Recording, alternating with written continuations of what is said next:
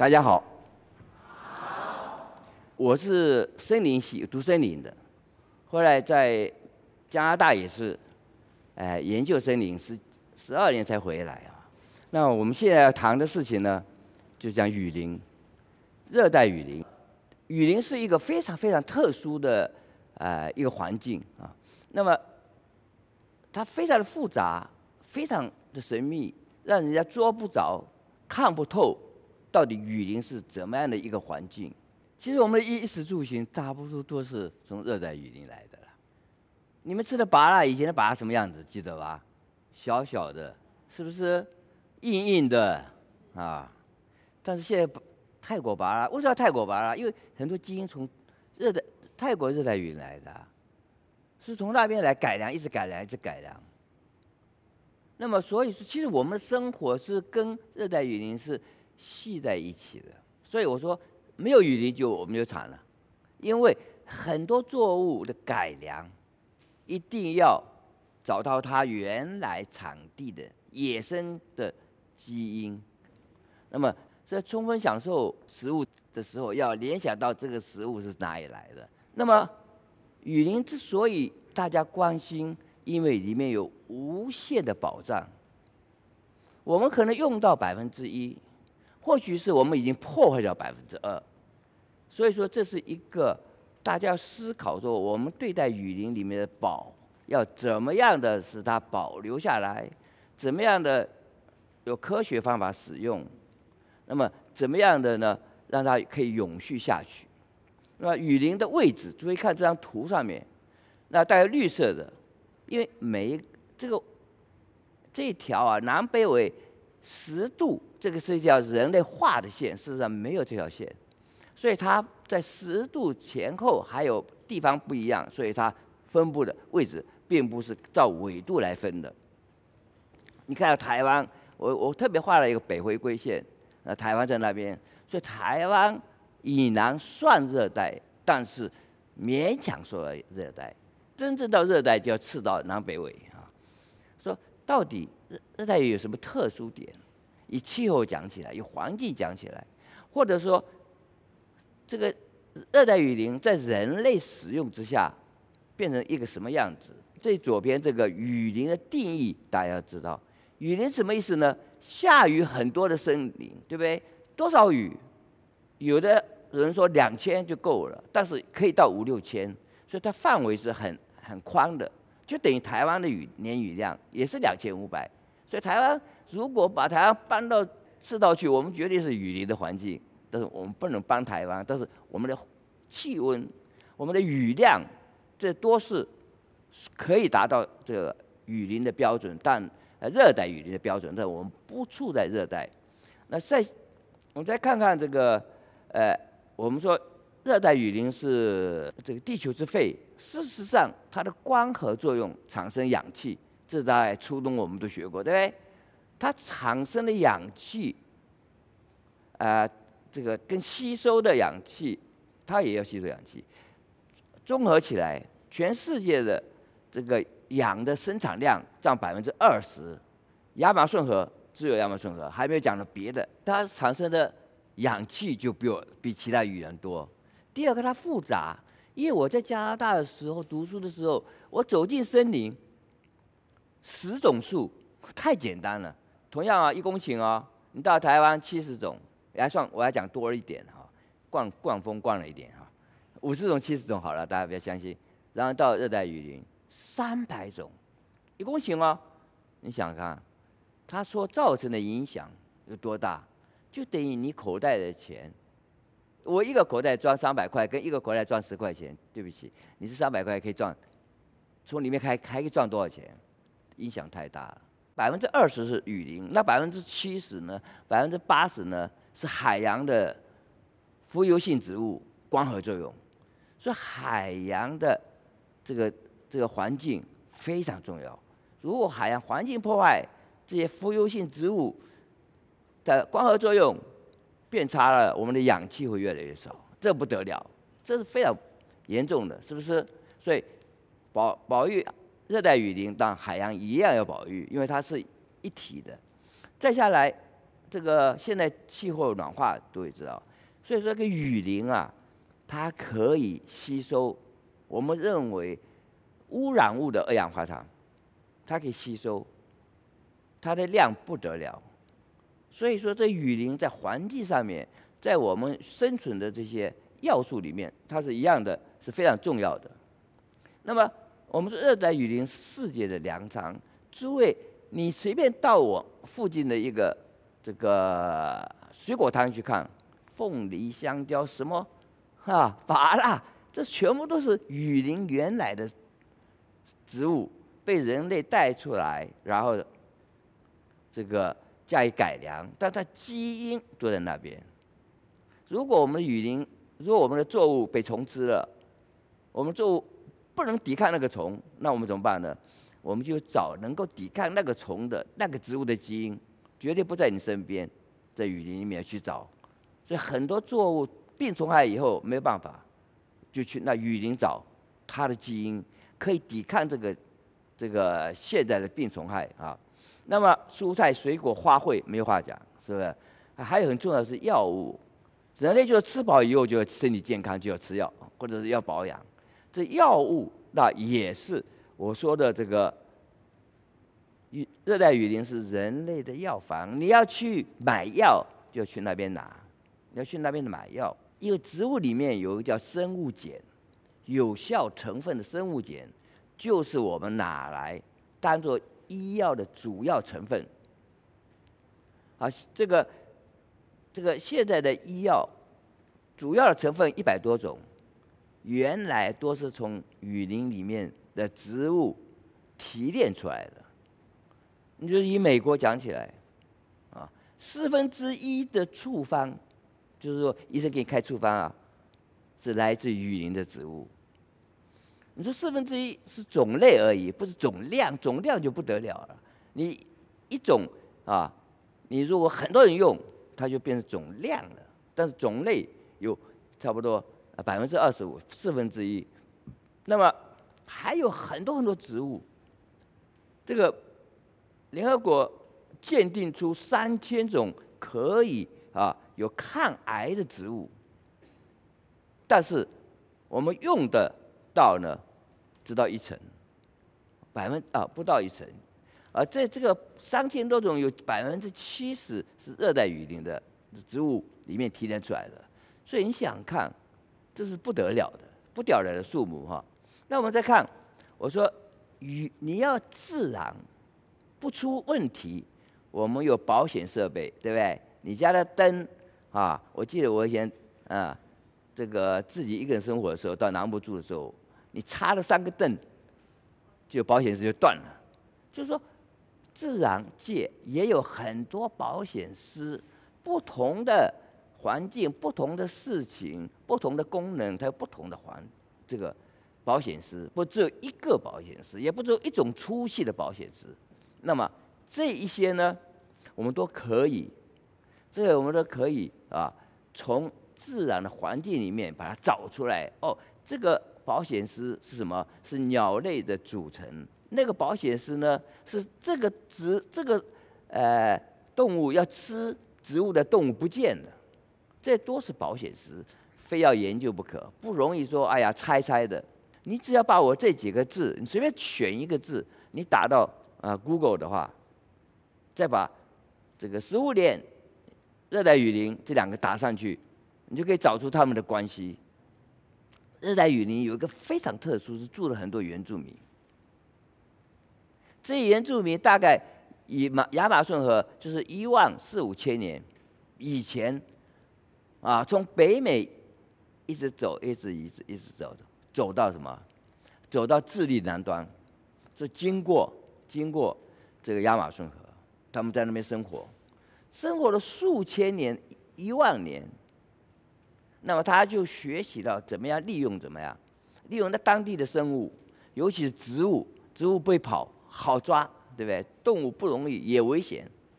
那么这些知识啊，你去自己怎么找这么多 上万种的？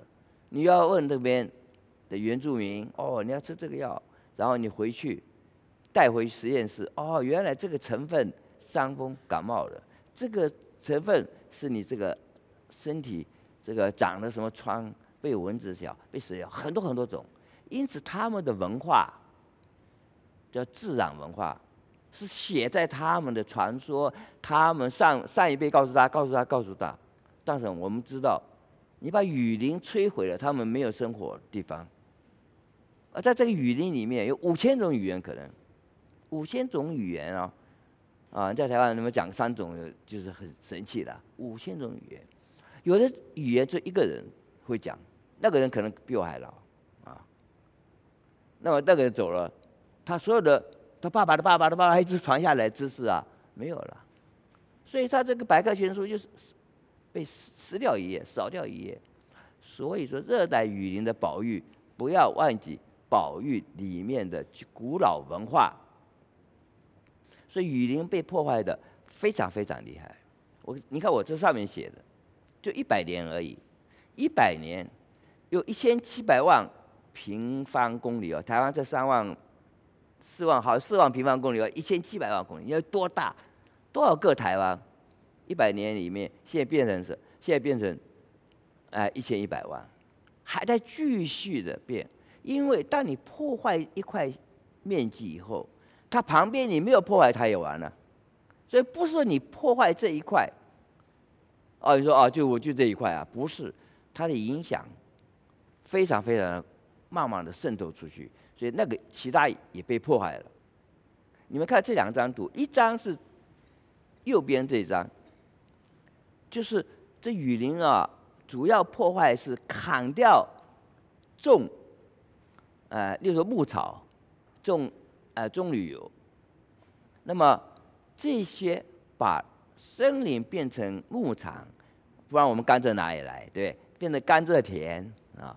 变变成这个，你看其他各种用途啊，最大的是因为你可以进去，进去是开路，一开路，这个你看这条路啊旁边啊，这个就人就搬进去了，呃就开始旁边整个雨林就会逐渐的分破坏掉了，所以开路我认为是最危险的。那么然后你再各种方式，有的是把烧掉种玉米，是吧？那么这个比较原始一点的，有的烧掉以后耕耘，用机器耕耘，施肥料，种那个什么，种这个基因改良的玉米，基因改良的作物。那么所以说，其实雨林的破坏就是因为人造成。但是人类一百年来人口增加太多了。假如说一百年前，一九零零年，但这里面没有人出生哈，这世界上应该还有这样的人活着。一九零零年人口可能就十六亿。这个十六亿啊，是自古一直累积死掉，活着死掉才十六亿。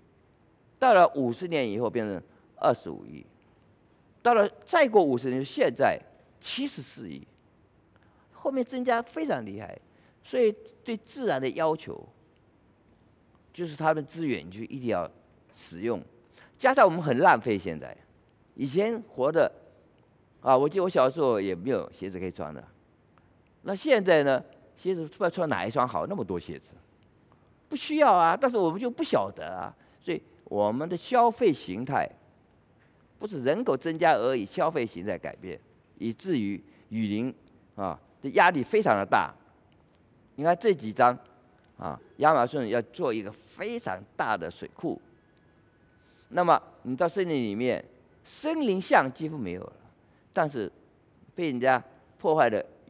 上头也在，你看多大？你人多大？所以每天卡车一卡车的这些木头，事实上这木头不应该是我们现代人类的，很早的人那时候就有了，只是到我们这边我们把它用掉。那你想想看，这个石油也是一样，沙特阿拉伯那石油怎么是他的？那是建国在那边，那底下怎么会是他的呢？没有道理，对不对？但就是他现在，我们国际法也是有问题。我为什么我的领海？有二十啊，二十里就是我的，二十里不是哦，还深的也是你的哦，所以不止二十里啊，再乘上深度不得了啊，所以人类有很多法律啊，实在是需要啊，我这个重新思考规范人类的行为。那么怎么办？我们要怎么办？我们行为我们怎么选择？例如说，我们要粮食生产，但是呢，我们也要木材利用。事实上，木材砍完毕就是种农作物。我们要砍多少，剩多少，怎么砍，砍哪里，砍完毕以后利用作物生产是用什么方式？就第一句就需要非常多的研究，非常多的实验。诸位晓得，人要自然永续，不是很容易的。如果年纪稍微长的人在这边哈，在我们以前在水沟里面，泥鳅、鳝鱼、呃毛蟹多得很，拿笨鸡戳就有了。后来我回去以后，地都不见了。我同朋友同学跟我一起回去，哎，看一下，他是放牛的，哎，怎么搞牛还要花钱请人家割杂草？以前的牛啊，这个是我走的牛，这边杂草都是我的牛吃的。每天去吃，现在是杂草长了，花钱去割。你看啊，整个人类的这个生活方式，所以要应该是要反省一下。我这边只是举个例子啊，如果说中间那一块是一个完整的森林，我们画了三个圆圈，暂时不动，暂时不动，旁边呢全部砍掉变农田，是右下角。另外一个呢，你砍有选择性砍。不要一次砍光，它造成的里面的物种灭绝率还差很远。这也是告诉我们，你看，你看红的是灭绝率，你看右边那个红的跟蓝的差不多，就是死掉一半，对那左边这个绿的多，红的少，就死掉百分之十五。因此，只要只要你能够比较有科学方式是管理的话，物种灭绝。也不是你想象的那么快，但是很难做得到。如果大家去过华盛顿特区的最有名的，就是博物院啊，博物馆，其实博物院，博物馆很多博物馆。这博物馆呢，大部分就是我这边史密松这呃研究院的。那它下面为了热带植物的保育。他设了一个生热带林研究院，这个研究院，我在林业试验所的时候，啊，我就拉线，把这个研究院的这个研究人员跟我们林业的研究人员拉在一起，我们大家来一起做，因为他们在全世界有六十三个森林区。其中有三个是我们台湾的，现在啊，六十三个里面三个，那么有二十四个国家，我们也算一个啊。第三个，在那个森林区里面，在台湾是五百公尺乘五百公尺，这样一区叫一区，二十五公顷就等于台北植物园的三倍多。每里面每一棵树啊，只要比我手指这么粗，都是要。挂号码说，哎，这是什么树啊？那么这个树多大啊？啊，在什么位置？全部都有。你只要打进去，台湾台湾茄啊茄东打进去，他说有的话，他马上告诉你在哪在哪一点点啊，在山顶，在山腰，在溪头溪旁，你就知道他生活的环境是不是？那么一共有多少？六百万株。哎，这每一株多人又挂个钩子的。就等于台北市，大台北市也没有六百万人，是吧？每一个人都有一个这个呃手链一样，告诉你你是谁。那么还有呢，一万个物种。所以这个计划，这个计划是我们跟全世界一起做研究。台湾在这方面的生态学、热带雨林学研究植物分类跟植物。为什么是这个样子？为什么结果有果实哪里去了？为什么这个树可以传播到哪一个地方？为什么这个树旁边为什么是这一棵？啊，你们在一起，你们两个坐一起，带好朋友嘛，都是有原因的嘛。或者今天不小心碰到嘛，这个这些关系，你不要以为树不是随便选的，树有树的方式，都要研究结开花结果。为什么知道开花结果？因为环境气候变迁以后，本来三月开的花，两二月半就开了，为什么？变暖了，啊，所以这些研究啊，开花很重要啊，因为昆虫、蜜蜂要吃花花蜜啊，你太早开的话，昆虫还没出来，你白开了，白开就不能够授粉，不能授不能结果，所以你不要看森林，它是非常有秩序的，你非非要了解。那么这边台湾有三个地方，一个福山，一个莲花池，一个南人山，这是国际上有注册的。大家去过福山没有？有没有举个手看？有啊，福山是亚热带雨林。我们没有什么标准的雨林，但是我们的森林，亚热带森林也是非常重要。它的下雨的这个量，绝对是热带雨林的标准。每天都下两百三，我记得我们算过，两百三十天在下。一天一年呢，你下你如果去下雨不下雨的话，你运气不好，因为下下雨是它正常的嘛。你去看一个不正常的环境干嘛？是不是？哦，下雨好啊，这本来去一个下雨地方就要下雨啊。那这些研究就是要跟他们互相交换。第二个重要的研究，台湾也积极的参与，叫国际长期生态学研究网。这个是一九九三年创立的，我们跟国际合作，然后国际了解我们，我们了解国际。那雨林的未来，你要知道，我这张叶子啊，上面多住的人，底下一半怎么样？还是原始状态。这个概念是从这本书啊，叫做《半个地球》，有没有？对，主要有半个地球啊。这半个地球，他说，如果我们在持续的利用这森林到这个样子，将来人类。希望有限，因此要把半个地球的面积要划下来，不准动，变成保护区。人，政治动物，大家知道，非常政治决定一切。第二个，经济动物；第三个，社会动物。